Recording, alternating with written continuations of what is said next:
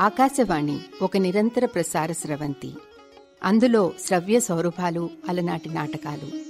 మన మధురోహలను పెనవేసుకున్న అనుభూతుల తరంగాలు.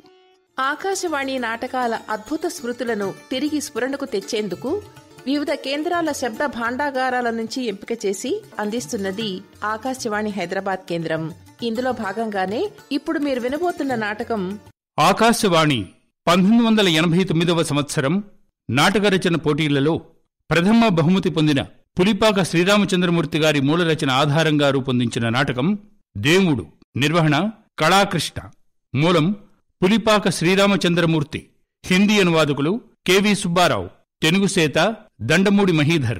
ఇందులో పాల్గొన్న కళాకారులు Nanduri Muralikrishna P Bhanuprakash Bhamidipati Sharma C Abhishikta Varma DV Ramana YK Nageswararao professor P Ramarao Y Mallikarjunam K Ravindra Phaniraj PVL Narasimharao KRK Murthy DS Prahlad D Purushottam KPV Ramana L Lakshminarayana T Bala Tripura Sundari K Anuradha.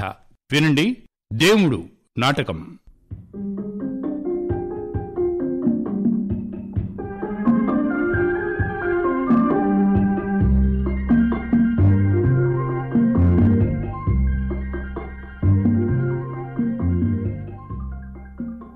ఏమండోయ్ మిమ్మల్నే. ఇది విన్నారా? ఏమిటది? దేవుడు దివి నుంచి భువికి దిగొచ్చాడండి. ఏ దేవుడు? అవ్వా కళ్ళు పోతాయి. దేవుడి పేరు వినగానే కళ్ళు మూసుకుని దండం పెట్టుకోవాల్సింది పోయి ఎవరు అని అడుగుతారా? ఎంత పాపం. మహాపాపం అండి ఘోర అపచారం. ముందు లెంపలేసుకోండి. సరే గాని అతగాడు అసలైన దేవుడేనా అని అడుగుతున్నా. అనుమానమా? అసలైన సిసలైన దేవుడు. ఏం సత్యకాలం వచ్చింది? ఒంటికాలి మీద నిల్చొని తపస్సు చేయమంటావా? ఇంతకు ఆ వచ్చింది నిజమైన దేవుడేనా అని నాటక కంపెనీ మనిషి కాదు కదా? ఎంత మాట అన్నారండి. సరే గాని నాకు ఆఫీస్కు టైం అవుతోంది. వంట అయిపోయిందా? ఇదిగో ఒక్క నిమిషం ఆలస్యమైనా మా మేనేజర్ ఊరుకోడు తెలిసిందా? కసుబుసు అంటాడు. మీ దేవుడు దిగొచ్చి చెప్పినా సరే వినడు. ఎప్పుడు ఆ మేనేజర్ జపమే చేస్తారు మీరు. అందులో సగం సగం టైం దేవుణ్ణి స్మరించడానికి వెచ్చించి ఉంటే మనం తరించిపోయేవాళ్ళం కాదు. దేవుణ్ణి మొక్కుకోవడం అంటే ఊతకర్రతో సాము గరడీలు చేసినట్టేనే. ఎవరైనా వింటే నవ్విపోతారు. కాస్త నెమ్మదిగా మాట్లాడండి. అవును ఇంతకు అతగాడు నిజమైన దేవుడే అనుకోవడానికి దాఖలాలేమిటి? శంఖు చక్రం గదం లాంటివి ఏమైనా ఒరిజినల్స్ ఉన్నాయా? ఆయన మహత్తులేమిటో ఒక్కడి చెప్పు చూద్దాం. ఒకటేమిటి? బోలెడు చమత్కారాలు చేసి మరీ చూపించాడు. చమత్కారాలు అంటే చెయ్యి పైకెత్తి గాలిలోంచి ఏవేవో వస్తువుల్ని సృష్టించడం. అలాంటివేనా? ఇంకా గొప్పవండి. ఆ, యాక్సిడెంట్లో చనిపోయిన వాడిని బతికించి మళ్ళీ చంపేయడం? మట్టిని మేలిమి బంగారంగా మార్చి మళ్ళీ దాన్ని మట్టి చేయటం కూడా చూపించాడు. ఎందుకు ఇవన్నీ చూపించడం? ఇవన్నీ దేవుడు మహత్తులు సుమండి. ఇంతకు అతగాడిప్పుడు ఎక్కడున్నాడు? గాంధీ చౌక్లో ఉన్నాడు. ఆహా ఎలా ఉంటాడు? బాగా బొద్దుగా మీసాలు గడ్డాలు లేకుండా క్లీన్గా ఉంటాడా? సినిమాల్లోనూ పటాల్లోనూ కనిపిస్తాడే. ఆ దేవుళ్ళాగా ఉండనే ఉండడు. మరి? బాగా వృద్ధుడు. తెల్లటి గెడ్డం తెల్లటి బట్టలు ఆ? ఇది ఆయన రూపం. కాళ్ళకు చెప్పులున్నాయా? చేతికి ఉంగరం కూడా ఉంది. నిజం చెప్పవే. అలాంటివేమీ లేవు. కళ్ళల్లో దయ ప్రేమ కనిపిస్తాయి. చూస్తే మనసుకు ఎంతో హాయిగా ఉంటుంది. చెడు భావాలు మనస్సు నుంచి మాయమైపోతాయి. ఇవన్నీ నీకెవరు చెప్పారే? అందరూ చెప్తున్నారు. జనం గుంపులు గుంపులుగా చూడ్డానికి వెడుతున్నారు. మన ఇంటి పక్క షావుకారు లేడు? అక్కడ ఆయన కొబ్బరికాయల దుకాణం కూడా తెరిచాడు. ఓహో. దేవుణ్ణి చూడ్డానికి హెలికాప్టర్లో మంత్రులు కూడా వచ్చిపోతున్నారట. ఆహా. కిందకి దిగుతున్నారా లేక పైనుంచే వెళ్ళిపోతున్నారా? ఏం లేదు. వరద పీడిత ప్రాంతాల్లో అలాగే చేస్తుంటారు. అందుకని చూడండి. దేవుణ్ణి మాత్రం వేళాకోళం చేయకండి. అతగాడు నిజంగా దేవుడో కాదో చూడాలి. ఓసారి వెళ్ళి చూస్తే సరి. సరి సరి.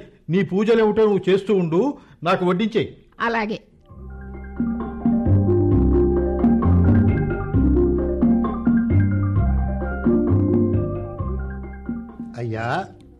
ఏమిటి? ప్రజల సమస్యలు వినడానికి తమరొక్కసారి బయటికి రావాలి. నాకంటే ఆ స్కూల్ టీచర్ ఉద్యోగం నయం.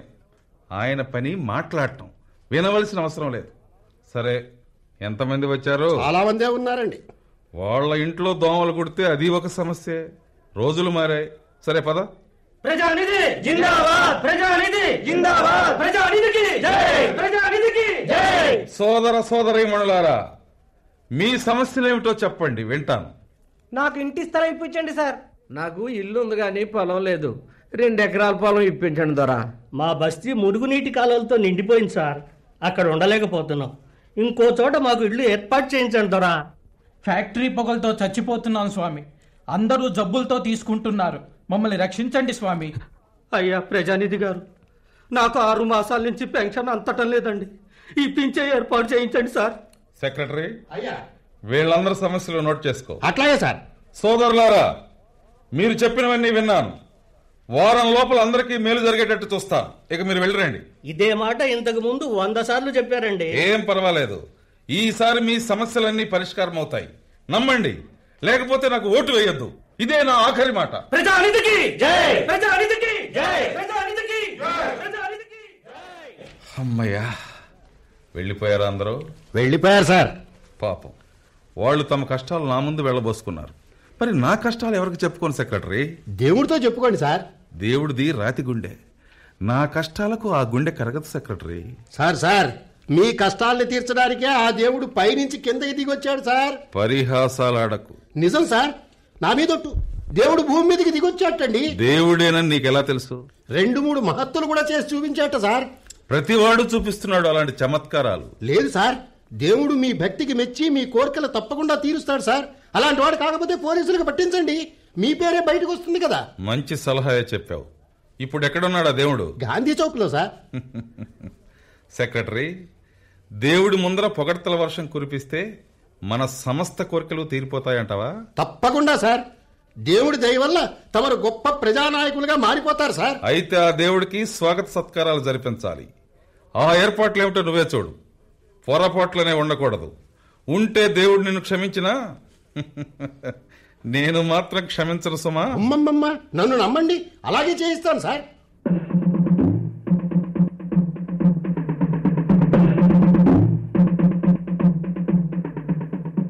సార్. ఎస్ సార్ మీ ప్రత్యర్థి ప్రజానిధి దేవుడికి స్వాగత సత్కారాలు చేస్తున్నాడు సార్. మనం చేద్దాం. అతనికంటే మనం దేనిలో తీసుకొట్టు మనది పై మెట్టే సార్. మనం ముందే అక్కడికి చేరుకోవాలి. చేరుకుందాం. పెద్ద హంగామాతో వెళదాం. దేవుడు ఆర్భాటం చూసి డంగైపోవాలి. నోరు తెరిచి అడిగిందే తడువుగా వరాల వర్షం కురిపించాలి. ఎస్ సార్ సిటీ మ్యూజికల్ పార్టీతో పాప్ గీతాలు వినిపించే ఏర్పాటు చేయిస్తా. శబాష్! ఈ దెబ్బతో ప్రజానిధి కంగు తినిపోవాలి. ఆయన సింహాచలం బ్యాండ్ మేళం ఏర్పాటు చేయించుకున్నాడు. చూడు మనం దేవుడికి ఫైవ్ స్టార్ హోటల్లో సన్మానం ఏర్పాటు చేద్దాం ఆయన కోసం ఇంపోర్టెడ్ సన్మానం చేయిద్దాం. ఆయన కోసం ఇంపోర్టెడ్ కార్ పంపించాలి సుమా. మన ఏర్పాట్లకు దేవుడు చిత్తైపోతాడంటే నమ్ము. ఎస్ సార్ ఆ ఏర్పాట్లన్నీ క్షణాల మీద చేయిస్తా. అలాగే.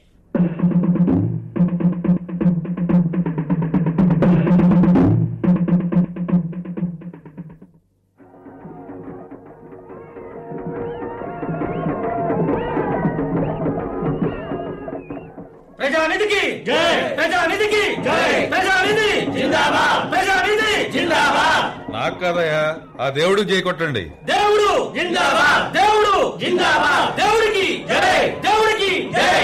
సెక్రటరీ అయ్యా! ఈ జై జైలు అంత గొప్పగా లేవయ్యా. సరే సర్వ జగత్ రక్షక రక్షమాం రక్షమాం. ఇది ఎలా ఉందంటారు? మొత్తం జగత్తును రక్షించేవాడికి ఆయనకు నా ఊసేం పడుతుందయ్యా సెక్రటరీ. ఇంకో స్లోగన్ ఆలోచించు. మరి ఆశ్రిత జన రక్షక. ఇది ఎలా ఉంది సార్? ఆశ్రిత జనరక్షకుల్లో నేను ఒకడిని అయిపోతాను. నాకు ప్రత్యేకత ఎక్కడుంది? అయితే ఆ జనాన్ని తీసి పారేద్దాం సార్. ఆశ్రిత రక్షక పాహిమాం పాహిమాం. మీరెవరు అనకండియా నేను ఒక్కడినే అంటాను. ఆశ్రిత రక్షక పాహిమాం పాహిమాం. చెబుతున్నాను కదా ఇదిగో మీరు కూడా నాలాగే అంటే మీకు కూడా వరాలిస్తాడు. అప్పుడు నా పొజిషన్ డౌన్ అవుతుంది.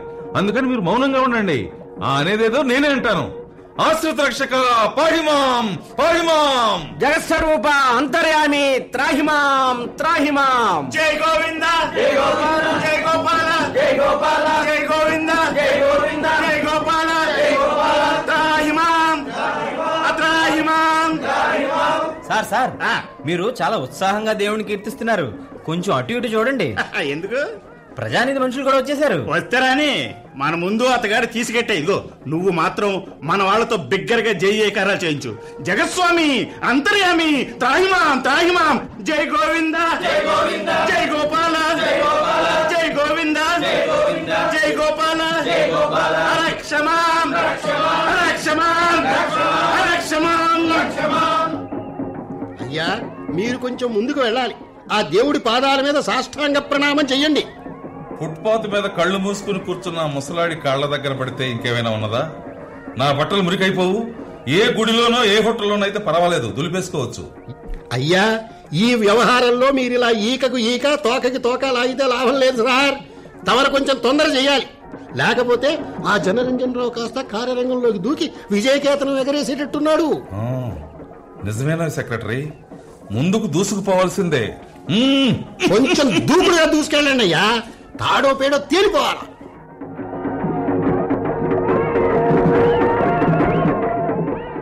దేవుడు! దేవుడు! దేవుడు! జై గోవింద! జై గోవింద! జై గోపాల! జై గోవింద! దేవుడు! జై గోపాల! దేవుడు! రక్షమా! దేవుడు! త్రాహిమా జై గోపాల! జై గోవింద! త్రాహిమా రక్షమా! Sir sir! ప్రజానిధి దేవుడి సాన్నిధ్యానికి చేరుకుంటున్నాడు సార్. ఆ పోతే పోనిద్దు. అదేమిటి సార్ అలా అంటారు? దేవుడి దగ్గరికి వెళ్ళి పొగిడేస్తే మీ పనేం గాను? అదిగో చూడండి సాష్టాంగ ప్రణామం చేస్తున్నాడు. దేవుడు మెచ్చి వరాలిస్తే మీ పని గోవిందా సార్? నిజమే సెక్రటరీ. దేవుడి దగ్గర చేరుకున్నాడు. మన ప్రత్యర్థి ప్రజానిది లాభం లేదు. నేను ముందు కురుకుతా చూడు. ఉరకండి ఉరకండి. దేవుడు కాళ్ళు పట్టుకుని వదలకండి. అలాగే. ఏందో సెక్రటరీ? ఈ దేవుణ్ణి చూడబోతే డొక్కు ముసలాళ్ళ ఉన్నాడు. ఎర్రగా బుర్రగా నూనె గుమ్మిసాల నవ యువకుడు అనుకున్నాను. ఒగుడాకులాగే ఉన్నాడు. గాలి కొట్టుకుపోయేవాళ్ళగా. ఇతర దేవుడట? ఈయనకు బోలెడు మర్మాలు తెలుసు సార్. క్షణంలో లోకాన్ని మటుమాయం చేయగల సత్తా ఉందట. మట్టిని మాణిక్యంగా మార్చడంలో మహా మేటని అందరూ అంటున్నారు. సరే అందరూ అంటున్నారు కనుక ఒప్పేసుకుంటా. వెళ్ళి కాళ్ళ మీద పడతా.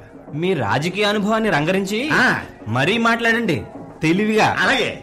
ఆషామాషిగా మాట్లాడారంటే మీ పని గోవిందా సార్? చూస్తాగా ఆశ్రిత రక్షక పాహిమాం పాహిమాం. జై గోవింద జై గోపాల రక్షమాం రక్షమా. ఆశ్రిత రక్షక. లోకనాయక అంతర్యామి. ఎవరు నాయనా మీరు? నేను మీ భక్తుణ్ణి స్వామి. ఇరవై నాలుగు గంటలు మీ నామస్మరణ చేసే దాసుణ్ణి ప్రభు. ఓహో మీకేం కావాలి? నాకేమీ అక్కర్లేదు స్వామి. నాకైతే ఏ కోరిక లేదు ప్రభు. అయితే ఎందుకు వచ్చినట్లు? జీవితమంతా మీ సేవకి అంకితం చేసుకుంటాను. ఆ వరం నాకు ప్రసాదించండి స్వామి. మీరిలా ఫుట్పాత్ మీద ఎండకు సొమ్మసిల్లుతూ వర్షానికి తడుస్తూ ఆకలి దప్పులు కలమటిస్తుండటం నేను చూడలేకపోతున్నాను ప్రభు. మీరు నాతో దయచేయాలి. కాదు మీరు నా గృహాన్ని పవిత్రం చేయాలి స్వామి. మీకోసం సకల ఏర్పాట్లు చేశాను ప్రభు. మా ఇంట్లో మీకు ఎలాంటి ఇబ్బంది ఉండదు. నేను మిమ్మల్ని పువ్వుల్లో పెట్టించుకుని పూజించుకుంటాను భగవాన్. నీ ఆహ్వానాన్ని మన్నించలేను బాబు. నన్ను బాధించకు. నేను ప్రపంచ స్థితిగతుల్ని పరిశీలించాలని ఇక్కడికి వచ్చాను మూడు నాలుగు రోజులుండి వెళ్ళిపోతాను. స్వామి ప్రస్తుతం ఈ ప్రపంచం పూర్తిగా మారిపోయింది. ఎంతగా భ్రష్టు పట్టిపోయిందో మీకు దగ్గరుండి చూపిస్తాను. నా గృహానికి దయచేయండి స్వామి. బాబు నిన్ను చూసి నీ మాటలు వింటూ ఉంటే నాకిక్కడి పరిస్థితి కొంతవరకు అర్థమైపోయింది. కావచ్చు ప్రభు అయినా మీరు నా గృహాన్ని పాలన చేయాలి ప్రభు. రాను బాబు రాలేను. నేనెవరింటికి రాను. అరే మీ స్వాగతం కోసం నేను చాలా ఏర్పాట్లు చేశాను స్వామి. దయచేయండి స్వామి. చెప్పాను కదా నేను రాను నాయనా. మీరిద్దరు వెళ్ళిపోండి.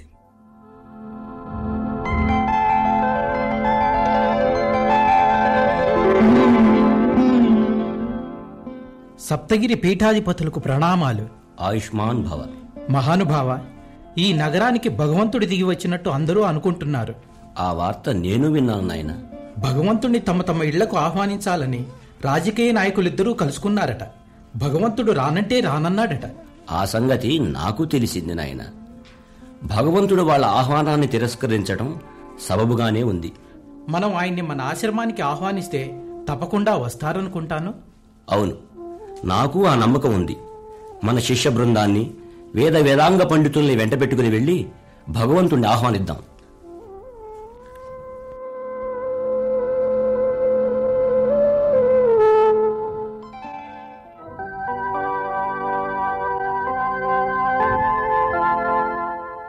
Father yes my son Saptagiri స్వాముల వారు దేవుని తమ ఆశ్రమానికి ఆహ్వానించడానికి వెళ్ళారట. ఎస్ నేను విన్నాను. ఆయన ఆశ్రమానికి వెళ్ళడానికి ఒప్పుకోలేదట. I know son I know ఆయన ఎందుకు వెళ్ళలేదో? నాకు తెలుసు ఫాదర్ ఎందుకు వెళ్ళలేదు?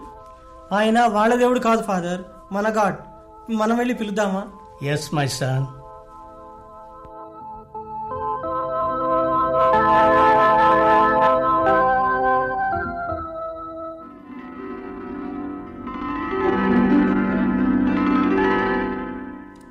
ఇమాం గారికి సలాం.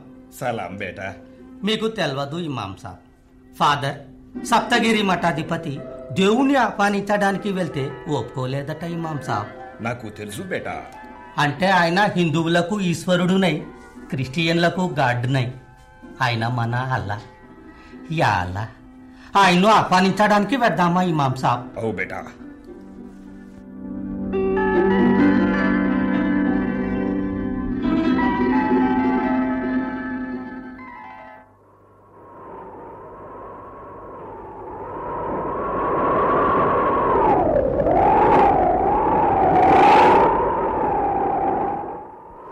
ఎవరండి బాబు గారు మీరు. జోరుగా వర్షం పడుతుంటే తడుపుతా కూకున్నారు. ఏం బాబు? నీకేం కావాలి? నాకా? నాకేం అక్కర్లేదు బాబు. రిచ్చా నడుపుకునే సోముని నేను. ఎవరిని బెచ్చం కూడా అడగను నేను. తెలిసిందా? అట్లాగా.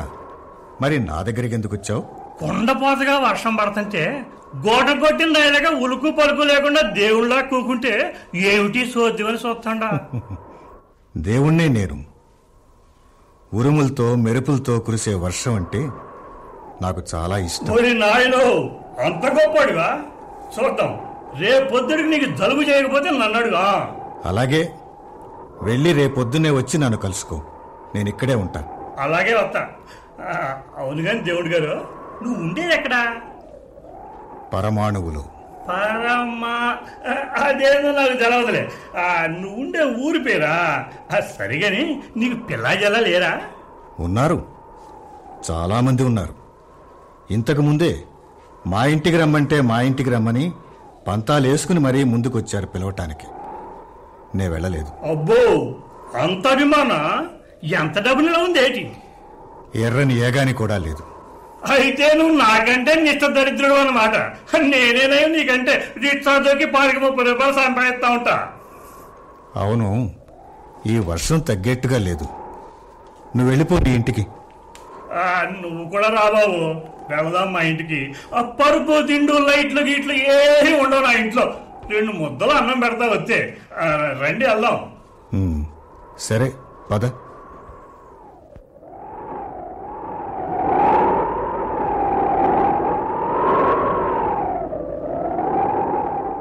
ఆ, మా ఇల్లు వచ్చింది.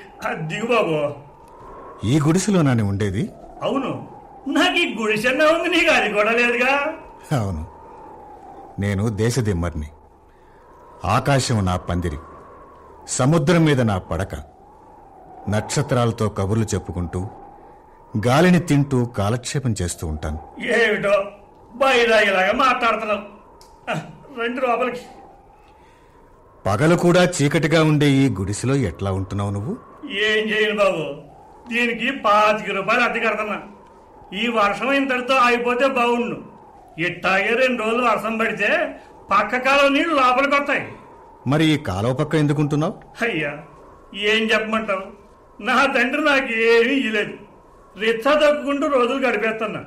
లూటీలు చేయటం మోసాలు చేసి డబ్బు గడించడం నా చేత కాదు బాబు. ఈ నెల అద్దె కూడా ఇంకా ఇవ్వలేదు బాబు. ఆ ఖాళీ ఎప్పుడు వస్తాడో ఏటో. ఆ ఖాళీ వచ్చినట్టున్నాడు. వస్తున్నాడు వస్తున్నా ఏ కొవ్వెక్కిందేరా? అద్దె వల్లేదేంద్రా ఏమనుకుంటున్నారు నువ్వు? మొన్న మీ ఇంటికి వస్తే మీరు లేరు. లేకపోతే మళ్ళీ రావాల్సిందిరా. ఎందుకు రాలేదురా? పదిహేనే ఉంది. అందుకని రాలా. ఈ పది తీసుకొని నా దగ్గర నీ ఆటో సాగురా. జాగ్రత్త.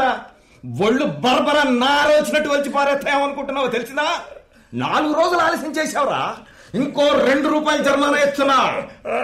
అయ్యా దేవుడు సాక్షి ఈ పదిహేను రూపాయలు తీసుకోండి. ఇంకో పన్నెండు రూపాయలు రేపు ఇచ్చేస్తా. దేవుడు సాక్షి అంటే ఒప్పుకుంటాననుకున్నావంటరా? పదిహేను ఇట్ట పడే పన్నెండు రేపు ఇచ్చాయి. ఎవడో లోపల ఉన్నట్టుందే? బిచ్చగాడు బాబు వెనక ముందు ఎవ్వరు లేరు. ఆ రమ్మంటే వచ్చాడు? నువ్వు దూరటానికి సందు లేదు కానీ నీ మెడకు డోలు కూడానా? అరే హారి వంతు అద్దె కూడా వసూలు చేస్తారు. ఇస్తానయ్యా ఇస్తాను ఆ, అట్టరా దానికే. అట్టరా. ఎవరయ్యా అతను? పేరు మోసిన పెద్ద రౌడీ బాబు. అంటే? అంటే తెలదా బత్తీలలో జబర్దస్తి చేయడం వంగబెట్టి తనటం జేబుల్లో ఉండటం గుంజేయడం ఇది వాళ్ళ వృత్తి ఈ కాలవడిని ఎన్ని గుడిసెలు ఉన్నాయో అవన్నీ వాడు తాతగడి ముళ్ళు అనుకుంటాడు దర్జాగా వచ్చి నెల నెల అద్దె వసూలు చేస్తుంటాడు. ఇది వాడి అర్థ ఉమ్, చాలా అన్యాయం అయితే. అన్యాయం అని అందరికీ తెలుసు బాబు. నోరు మెదిపితే తంతాడని అందరికీ భయం. పొరపాట్లు మాట్లాడితే తలా కాళ్ళు చేతులు నరికేసి కాలంలో పడేస్తాడు బాబు. పోలీసులు ఏమీ చేయరా? నువ్వు ఇంకా పాతకాలంలో ఉన్నావు. ఆ దేవుడు కూడా ఈ బీద విక్కి సాయంగా నిలబడితే ఒట్టు. పోనీలే ఆ గొడవలని నీకెందుకు? ఇదిగో ఈ రొట్టె తిని పడుకో. నాకు ఆకలిగా లేదు గాని నువ్వు తిని విశ్రాంతి తీసుకో.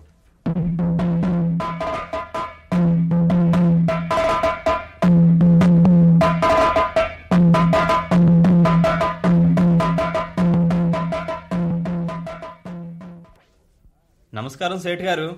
రండి రండి హనుమాన్ ప్రసాద్ గారు. ఈ ముగ్గురితో కూడా మీకు పరిచయం ఉందనుకుంటాను. ఈయన ధర్మరాజు గారు. వెండి బంగారం వ్యాపారం. నమస్కారం. ఈయన ఈశ్వరరావు గారు. నా పేరు ఐ ఈశ్వరరావు. ఐ అంటే ఇండస్ట్రీ అని. నగర ప్రముఖుల్లో పేరుగాంచిన వ్యక్తి నాగభూషణం గారు. నా విరోధులు నాకు పెట్టిన పేరు పంచదార డేగ. నాకు చాలా పంచదార మిల్లు ఉన్నాయిలేండి అందుకని వాళ్ళు అట్లా అంటారు. మీరంతా ఇలా కట్టకట్టుకొని వచ్చారంటే ఏదో ఒక పెద్ద పని ఉండే ఉంటుంది. భగవంతుడు భూమి మీదకి దిగొచ్చాడని తెలిసింది. ఆ దేవుడి బాగోగుల విషయం ఆలోచించవలసిన బాధ్యత మందే కదా మరి? ఇది విన్నారా హనుమాన్ ప్రసాద్ గారు? రాజకీయ నాయకులు ప్రధానిధి జనరంజన్ రావు గారు. ఇద్దరూ వెళ్ళి దేవుణ్ణి వాళ్ళ ఇంటికి తీసుకెళ్ళటానికి కాళ్ళా వెళ్ళా పడ్డారట. రానంటే రానని దేవుడు తెగేసి మరీ చెప్పాడట. ఆ తరువాత మత గురువులు ముగ్గురు వెళ్ళి సాష్టాంగపడ్డారు. పామాలి బతిమలాడి చివరికి భంగపడి వచ్చిన దారిని తిరోగమించారు.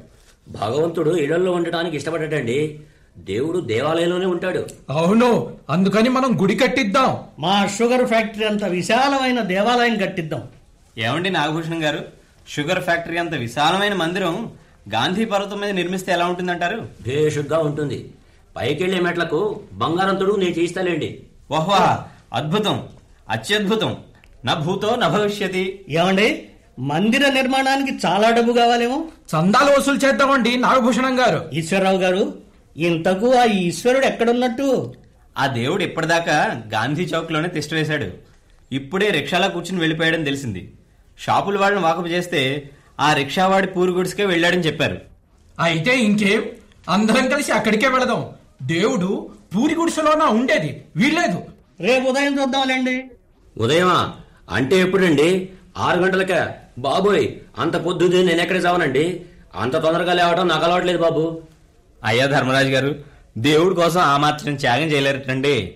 నిద్రా త్యాగం ఆ దేవుడు దయతలిస్తే క్షణాల మీద ఆయనకు ఫైవ్ స్టార్ హోటల్లో సూట్ రిజర్వ్ చేయించవచ్చు. బ్రహ్మాండమైన నవకాయ పిండి వంటలతో భోజనం ఏర్పాటు చేయించి కాలు కింద పెట్టకుండా హాయిగా ఉండేట్టు చూడగలం. కానీ ఏం లాభం? అంత గొప్ప అదృష్టం ఈ దేవుడి ముఖాన ఆ దేవుడు రాయలేదు. ఆయన కర్మ మన దురదృష్టం. కుచేలుడికి అటుకులంటే ఇష్టం లాగానే ఈ దేవుడికి ఆ గుడిసెలో ఆ కటిక నేలంటేనే మహా ఇష్టంగా ఉన్నట్టుంది. మా బాగా సెలవిచ్చారు. అయ్యా మనం అంతా జట్టుగా చేతులు కట్టుకుని ఆయన ముందర నిలబడి మా కోరిక తీర్చమని అడుగుదాం. అవును నాకు అలానే అనిపిస్తోంది. ఆ దేవుడు మహా తిక్క మనిషిలాగా కనిపిస్తున్నాడు. తను బాధపడేది కాక ఇతరులు కూడా బలవంతంగా ఆ బాధల రొంపులోకి లాగటం ఎందుకా అంట. భేషుగ్గా అన్నారు కిషన్లాల్ గారు. ఆ దేవుడు ఏదైనా పెద్ద ప్రమాదంలో చిక్కుకొని ఉంటే మనమంతా కలిసి మన పౌరు ఉపయోగించి ఆయన గట్టున పడే ప్రయత్నం చేయొచ్చు. ఆ దేవుడు మనకు అలాంటి అవకాశం కల్పిస్తాడని నేను అనుకోవడం లేదు. ఆ అవకాశం మనకు వస్తుందిలేండి. ఒకవేళ రాలేదనుకోండి భగవంతుడిని ప్రార్థించి ఒక పెద్ద ప్రమాదంలో చిక్కుకునేట్టు చెప్దాం. ధర్మరాజు భీష్మ పితామహుని నేరుగా వెళ్ళి నిర్మోహమాటంగా అడిగారు కదా. యుద్ధంలో మిమ్మల్ని ఓడించే మార్గం తెలియజేయవలసిందని. మనం కూడా అలాగే చేద్దాం. దేవుడు కష్టాల్లో చిక్కుకుంటే మనమా ఆయన కష్టాల్ని గట్టెక్కించే వాళ్ళం వాహ్ వాహ్ బాగుంది.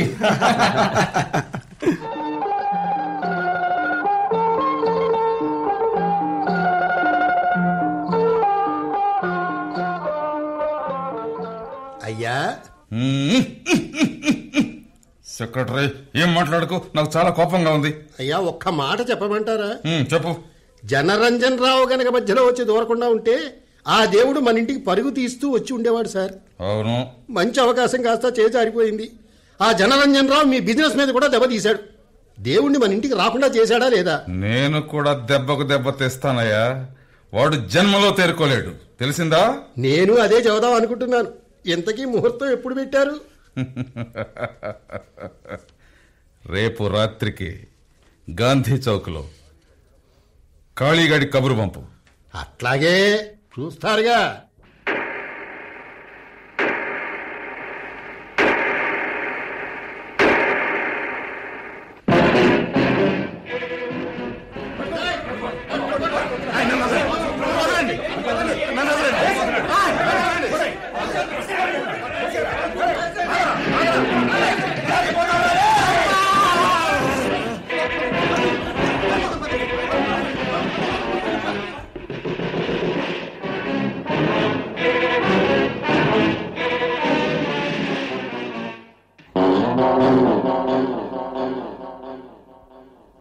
కానిస్టేబుల్ ఎస్ సార్ ఇక్కడ ఎవరైనా ఉంటే చూసి కస్టడీలోకి తీసుకో. చూడు.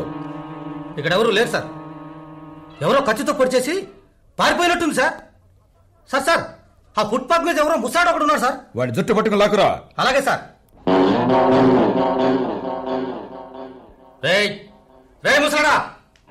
ఇటారా ఏం బాబు? నన్ను పిలిచావా? అవును ఆయ్. రమణంగానే పరిగెత్తి రావాలా జనరంజన్ రావుని ఎవరో హత్య చేశారు. అప్పుడు నువ్వు ఇక్కడే ఉన్నావా? ఆ ఉన్నానండి. హత్య చేసింది ఎవరు? ఎవరు చేశారో నాకు తెలియదు. పది పన్నెండు మంది గుంపుగా వచ్చి చంపేసి వెళ్ళిపోయారండి. వాళ్ళ నువ్వు గుర్తుపట్టగలవా? లేదండి. గుర్తుపట్టలేను. సార్ జనరంజన్ రావు గారిని ముసలాడి హత్య చేసి ఉండొచ్చు సార్. ఈ రోజుల్లో మనుషులు చాలా తెలివి మీరిపోయారండి చూసారా హత్య చేసి ఏమీ తెలియనట్టు బుద్ధుళ్ళాగా పద్మాసనం వేసి కూర్చున్నారు సార్. అయితే తీసుకెళ్ళి లోపల పెట్టే. ఎస్ సార్ ఏ ముసలాడా నీ పేరేమిటా దేవుడు. దేవుడా? ఏమిటి నీ పేరు? దేవుడా? నువ్వు దేవుడిగా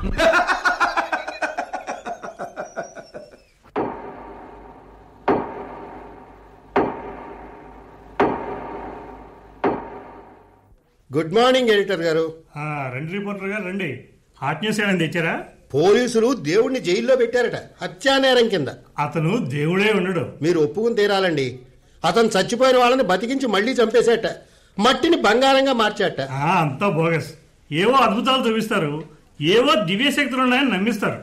పోలీసులు పత్రికా విలేకరులు ఇలాంటి కట్టుకథలను నమ్మకూడదు. అతను దేవుడు అవునో కాదో అది వేరే సంగతి అండి వార్త అచ్చు వేయడంలో తప్పు లేదు కదా?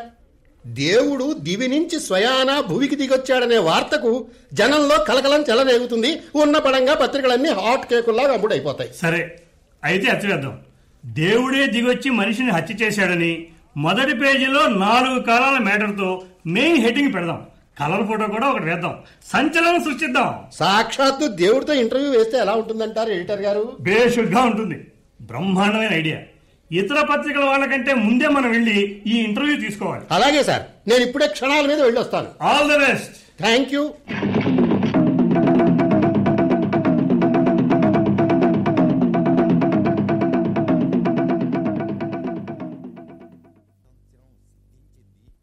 నమస్కారం ఇన్స్పెక్టర్ గారు. ఎవరు? సేట్ కిషన్ లాల్ గారా? మీరు పోలీస్ స్టేషన్కి వచ్చారా? దయచేయండి దయచేయండి. కూర్చోండి సార్. ఏ రామ్ సింగ్! సేట్ గారికి వెంటనే వెళ్ళి వేడి వేడి టీ ఒకటి తీసుకురా. చెప్పండి సేట్ గారు. చంద్రరంజన్ రావు హత్య కేసులో మీరు దేవుణ్ణి అరెస్ట్ చేసినట్టు తెలిసింది? ఆ ముసలాడు కస్టడీలోనే ఉన్నాడండి. ఆ ముసలాడు చూస్తూ ఉండగానే హత్య జరిగింది.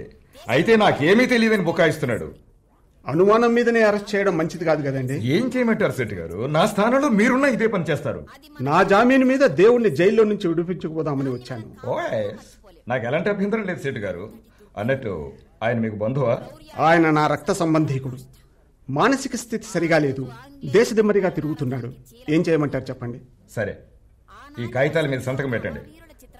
ఏ కానిస్టేబుల్! ఎస్ సార్ దేవుడి తీసుకురా. జామీన్ మీద విడుదల చేద్దాం. ధన్యవాదాలు ఇన్స్పెక్టర్ గారు. వస్తా. నమస్కారం. నమస్కారం.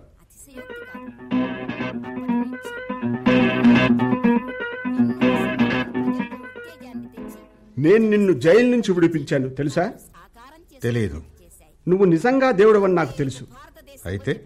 నేను గనక సమయానికి వచ్చి విడుదల చేయించకపోతే జైల్లో నరకం అనుభవించాల్సి వచ్చేది. మంచి పని చేశావు. ధన్యవాదాలు. ధన్యవాదాలు చెబితే సరిపోదు. నేను నీకు చేసిన సహాయానికి బదులుగా నువ్వు కూడా నాకు సహాయం చెయ్యాలి. ఏమిటో చెప్పు. ఏమీ లేదు.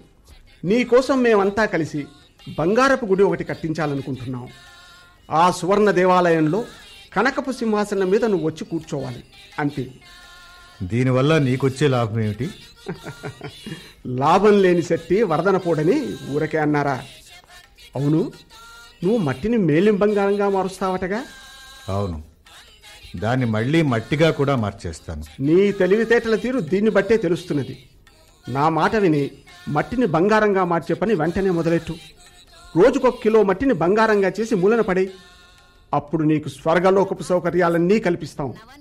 ఈ భూమిని వదిలి మరెక్కడికి వెళ్ళే పనే లేదు నీకు. ఏమంటావు? సరే. నా కోసం స్వర్ణ మందిరం కట్టించాలి? దేవుడు స్థల ప్రభావం అంటే ఇదే కాబోలు. నీకు జ్ఞానోదయం అయింది. చాలా సంతోషం. బాగుంది. మట్టే కాదు నువ్వు పట్టిందల్లా ఇక బంగారమే అవుతుంది.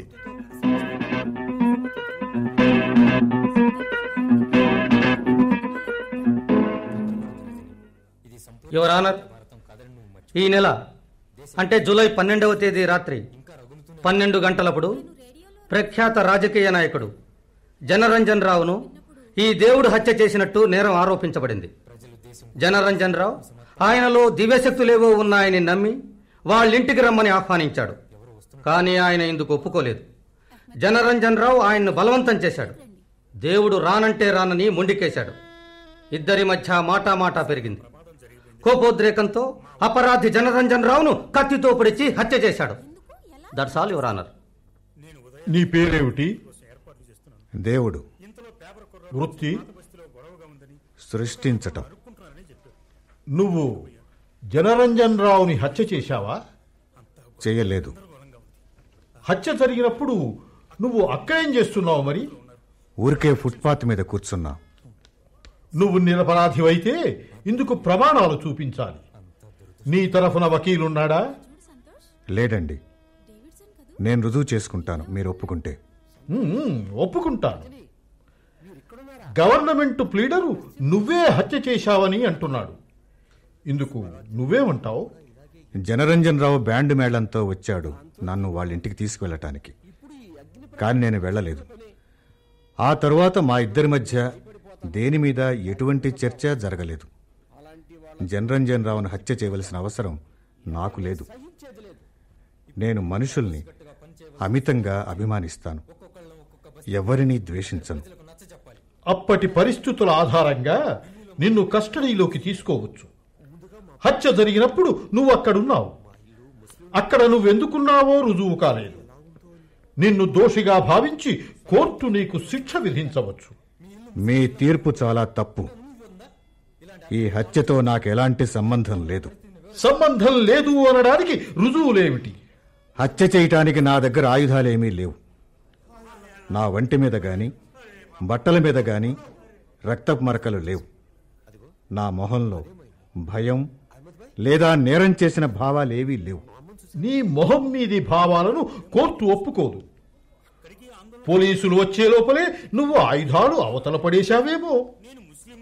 బట్టలు మార్చుకుని ఉండవచ్చును కదా. కోర్టుకు సాక్ష్యాలు లభించాలి. ఒకవేళ జనరంజన్ రావు స్వయంగా వచ్చి మీతో నేను నిర్దోషం చెబితే.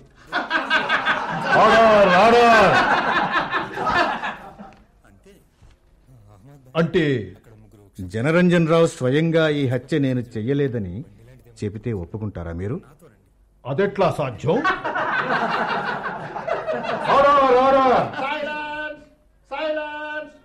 మై లార్డ్ నా వృత్తిని గురించి అడిగినప్పుడు సృష్టించటం అని చెప్పాను కదండి. అడుగో. జనరంజన్ రావు వస్తున్నాడు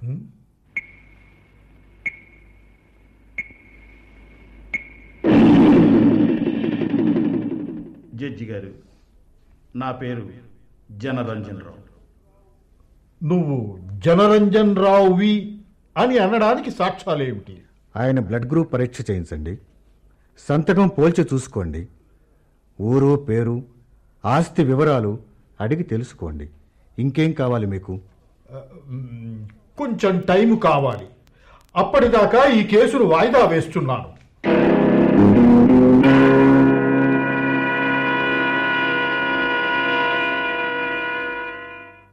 జనరంజన్ రావు హత్య కేసు విచారణ విషయంలో పరిశీలన తర్వాత తేలిన పర్యవసానం ఏమిటంటే కోర్టులో హాజరైన వ్యక్తి జనరంజన్ రావేనని రుజువైంది. అయితే ఆయన సాక్ష్యం చెప్పవచ్చా మై లార్డ్? చెప్పవచ్చు. మై లార్డ్ ఈ నెల పన్నెండవ తేదీ రాత్రి ప్రజానిధి పంపిన రౌడీలు నన్ను హత్య చేశారు. నన్ను హత్య చేసింది ఈ దేవుడు కాదు. ఆయన నిర్దోషి. ఈ సాక్ష్యం సరిపోతుందా? ఇంకేమైనా కావాలా? సరిపోతుంది. జనరంజన్ రావు నువ్వు వెళ్ళవచ్చు.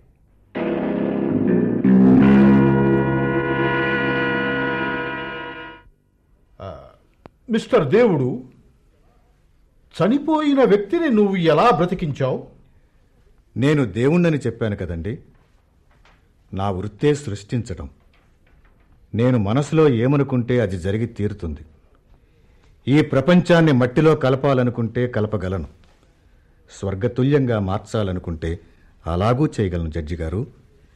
కానీ ఈ రెంటిలో దేన్ని నేను చెయ్యను. నువ్వు నిజమైన దేవుడు అని నాకిప్పుడు గట్టి నమ్మకం ఏర్పడింది. కానీ నువ్వు మహా దుష్టుడివయ్యా. మనిషికి చేయూత ఇవ్వడం మానేశావు. ప్రపంచంలో ఇన్ని ఘోరాలు ఇన్ని అవకతవకలు అన్యాయాలు అధర్మాలు అకృత్యాలు జరిగిపోతూ ఉంటే నువ్వు కళ్ళు మూసుకొని కూర్చున్నావేమిటయ్యా? నువ్వు కావాలనుకుంటే అంతటా శాంతి సౌఖ్యాలు వ్యాపింపజేయవచ్చును కదా మానవ కళ్యాణానికి నువ్వు ఎందుకు పూనుకోవడం లేదు మిస్టర్ భగవాన్? పూనుకుంటాను. ఈరోజు సాయంత్రం ఐదు గంటలకు పెరేడ్ మైదానంలో నా దివ్య శక్తుల్ని ప్రదర్శించి చూపిస్తాను. అలాగే సాక్షి జనరంజన్ రావు సాక్ష్యాధారాలను బట్టి దేవుణ్ణి నిరపరాధిగా భావించి విడుదల చేయవలసిందిగా తీర్పు ఇవ్వడమైనది.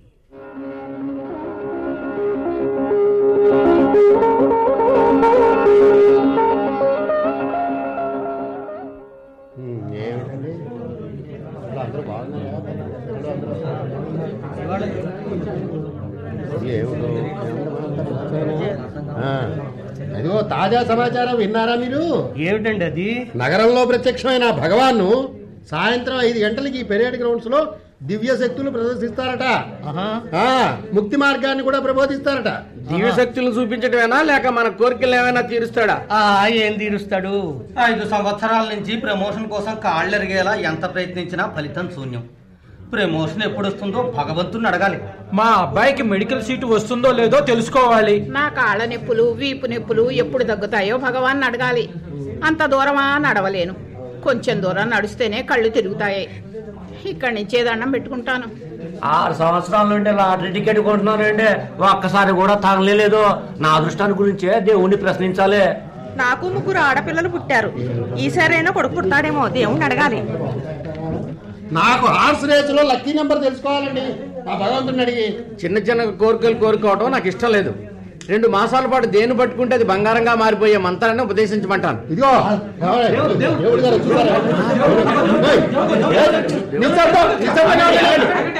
దేవుడు ఏదో మాట్లాడుతున్నారు? నిశ్శబ్దంగా ఉండండి.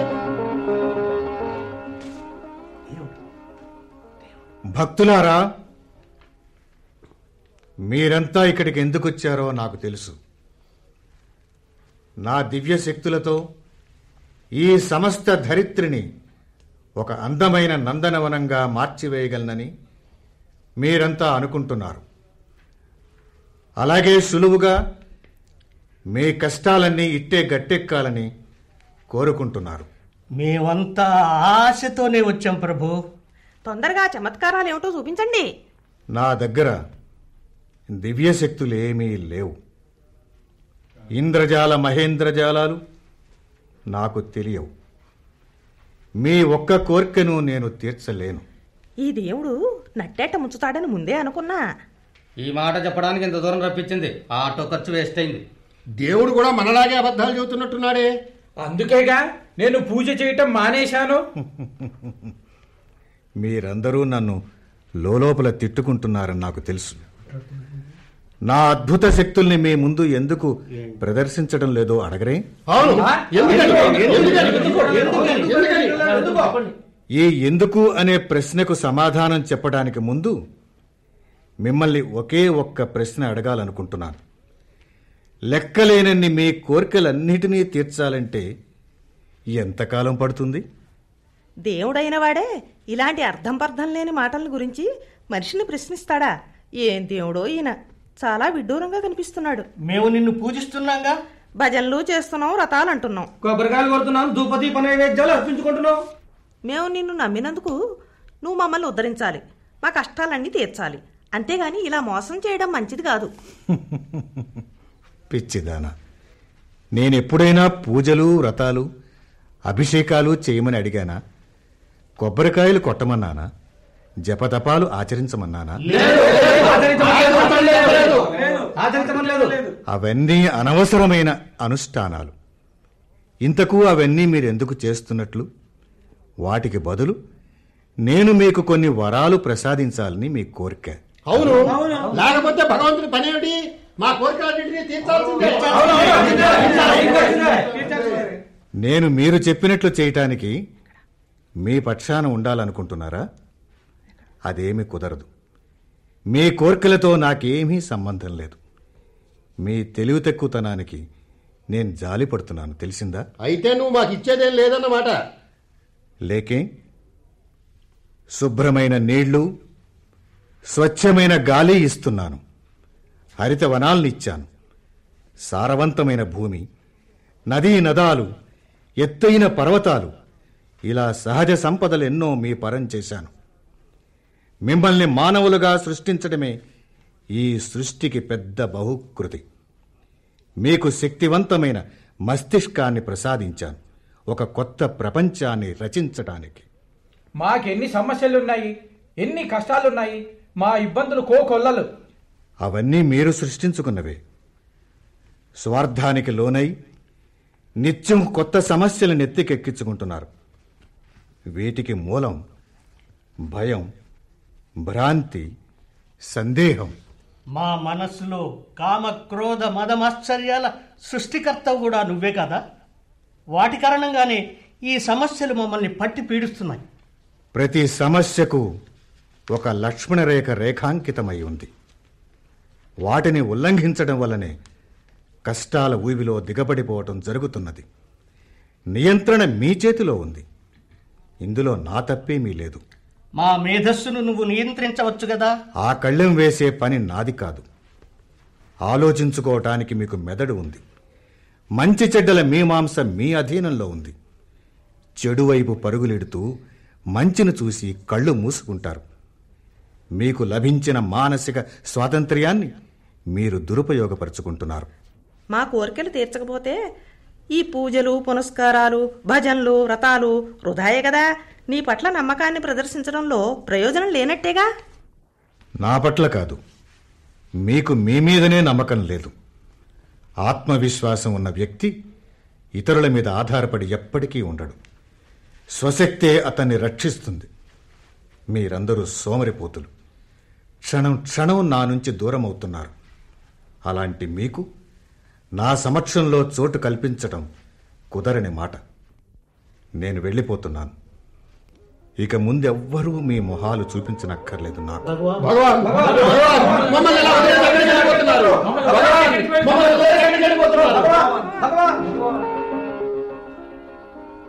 దూరంగా బహుదూరంగా మీరెవరూ రాలేని చోటుకు వెళ్ళిపోతున్నాను.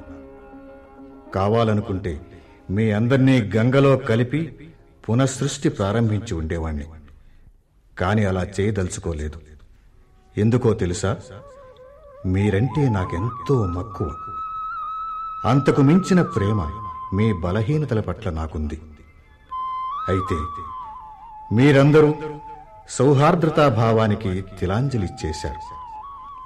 వసుధైవ కుటుంబకం అనే మహామంత్రాన్ని తుంగలో తొక్కేశారు.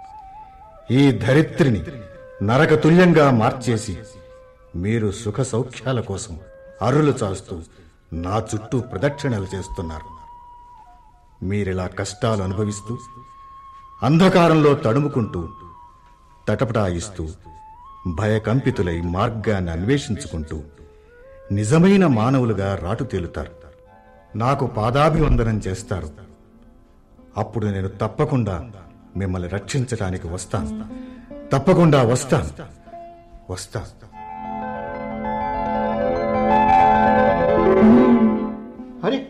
అరే ఏడి ముసలి మాయవాడు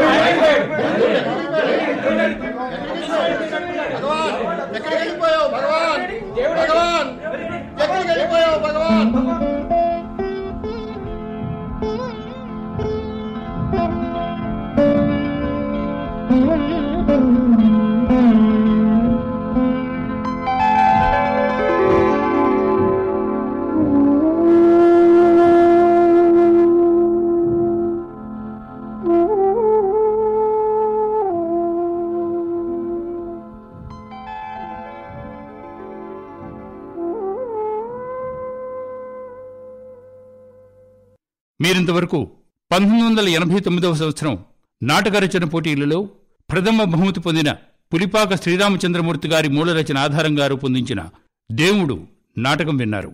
నిర్వహణ కళాకృష్ణ. మూలం పులిపాక శ్రీరామచంద్రమూర్తి. హిందీ అనువాదకులు కెవి సుబ్బారావు. తెలుగు సేత దండమూడి మహీధర్. ఇందులో పాల్గొన్న కళాకారులు Nanduri Muralikrishna P Bhanuprakash Bhamidipati Sharma C Abhishikta Varma DV Ramana YK Nageswararao professor P Ramarao Y Mallikarjunam K Ravindra Phaniraj PVL Narasimharao KRK Murthy DS Prahlad D Purushottam KPV Ramana L Lakshminarayana T Bala Tripura Sundari K Anuradha. ఈ కార్యక్రమం ఆకాశవాణి హైదరాబాద్ కేంద్రం నుంచి వెలువడింది.